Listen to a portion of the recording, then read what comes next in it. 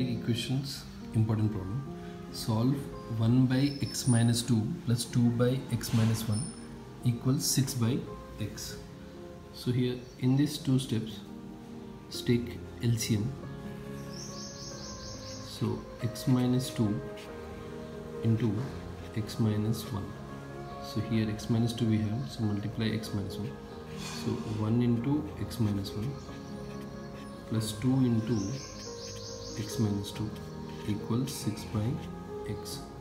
So x minus 1 plus 2 times x is 2x 2 times 2 is 4 by x into x x square x into minus 1 minus x minus 2 into x minus 2x minus into minus plus 2 into 1 2 equals 6 by x.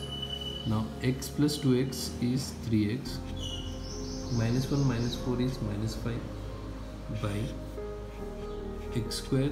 Minus x minus 2x minus 3x plus 2 equals 6 by x.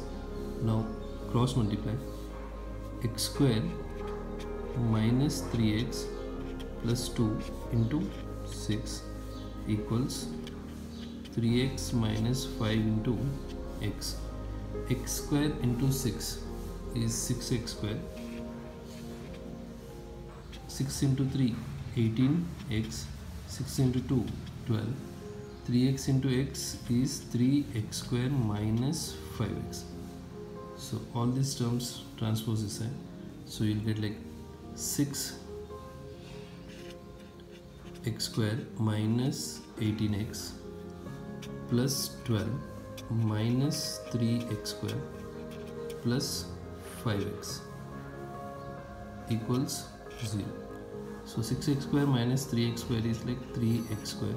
Minus 18 plus 5 is minus 13x plus 12 equals 0 now I need to factorize this by splitting the middle term.